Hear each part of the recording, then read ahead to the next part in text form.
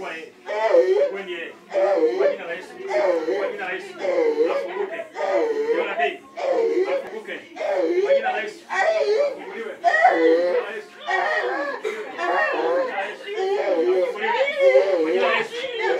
Funguka masikio. Funguka masikio. Funguka masikio. Funguka masikio. Funguka. Wewe pepo. Wewe unafunga masikio. Sio huyu pastor. Ni wewe pepo. Wewe unafunga masikio. Huyu ifunguke, ya pepo ifungwe. Mute spirit. Deaf spirit. Leave in the name of Jesus. Deaf spirit.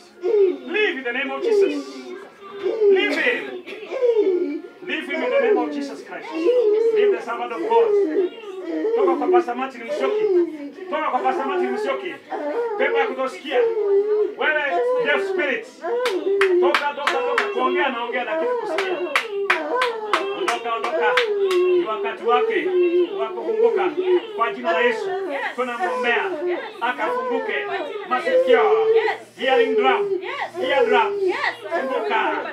ear drum. Funguka. ear drum. Funguka. Katika jina la Yesu Kristo. Ear drum na kuamrisha anza kufanya kazi. Nataka niambie washirika msikie. Acts chapter 3 verse 3. Peter